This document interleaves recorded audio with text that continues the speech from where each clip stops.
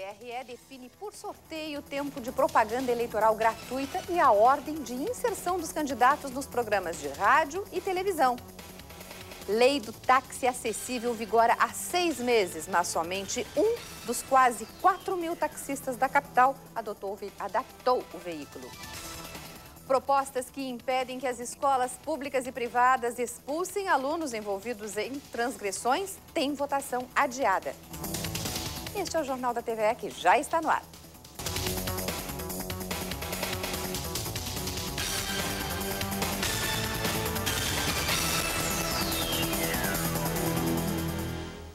Boa noite. O Tribunal Regional Eleitoral realizou sorteio e definiu o tempo de propaganda gratuita no rádio e na TV. Às terças, quintas e sábados serão veiculados os programas dos candidatos a deputado federal e presidente da República. As segundas, quartas e sextas serão reservadas aos candidatos a governador, deputado estadual e senador. Na TV, o horário eleitoral gratuito vai da uma da tarde até a 1h50 e às 8h30 da noite até às 9h20. No rádio, a, TV, a propaganda ocorre das 7 às 7h50 da manhã e do meio-dia ao meio-dia e 50.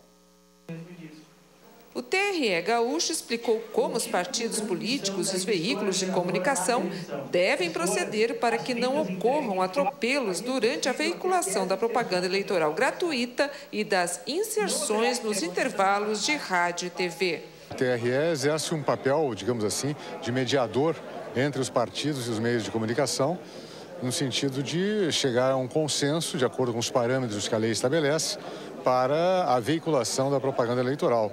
Né? Dentro da estabelecendo a ordem em que essa propaganda será veiculada, o tempo que cada partido ou coligação terá. Né? É, de acordo com o que a lei estabelece. No primeiro turno das eleições, a propaganda gratuita vai começar no dia 19 deste mês e terminar em 2 de outubro. Os gaúchos vão às urnas no dia 5 de outubro para escolher o presidente da República, o governador, senador, além de deputados federal e estadual. O TRE também realizou sorteio para definir a ordem de exibição dos programas partidários na propaganda gratuita, mas a sequência só vale para o primeiro dia, já que no seguinte haverá rodízio. Conforme o sorteio, a ordem do primeiro dia da propaganda gratuita dos oito candidatos ao governo do Estado, com tempo total de 20 minutos, será a seguinte. Tarso Genro, da Unidade Popular pelo Rio Grande, com tempo de 5 minutos e 9 segundos. Roberto Robaina, da Frente de Esquerda, com 54 segundos. Vieira da Cunha, da coligação O Rio Grande Merece Mais, tem 2 minutos e 30 segundos. José Ivo Sartori, da coligação O Novo Caminho para o Rio Grande, conta com 5 minutos e 2 segundos. Humberto Carvalho, do PCB, tem 50 segundos. Em seguida, vem Ana Amélia Lemos, da coligação Esperança, que une o Rio Grande, com o tempo de 3 minutos e 50 segundos. Edson Stivalete, do PRTB, e João Carlos Rodrigues, do PMN, têm 51 segundos cada. E a disputa pelo Senado terá 10 minutos de inserção. O Tribunal Regional Eleitoral divulgou também a ordem de veiculação das propagandas. Beto Albuquerque, da coligação O Novo Caminho para o Rio Grande, com 2 minutos e 34 segundos. Olívio Dutra, da Unidade Popular pelo Rio Grande, com 2 minutos e 38 segundos. Simone Leite, da coligação Esperança que une o Rio Grande, terá 1 minuto e 58 segundos. Ciro Machado, do PMN, com 29 segundos. Lazia Martins, da coligação O Rio Grande Merece Mais, com 1 minuto e 18 segundos. Rubens Goldenberg, do PRP, com 30 segundos e Júlio Flores, da Frente de Esquerda, também com 30 segundos. E o Tribunal Superior Eleitoral divulgou há pouco o primeiro relatório parcial das prestações de contas dos candidatos que concorrem às eleições este ano. O documento detalha os recursos recebidos para financiamento de campanhas e os gastos prévios realizados. Os dados podem ser acessados no site do TSE. E hoje é o último dia para a Justiça Eleitoral publicar a nomeação dos mesários que trabalharão nas eleições. Mais de 107 mil pessoas foram convocadas para atuarem nas sessões eleitorais no Estado.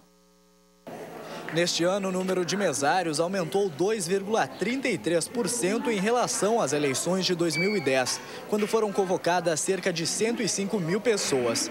As zonas eleitorais são responsáveis pela nomeação dos mesários, que são quatro por sessão: presidente, primeiro e segundo mesários e secretário.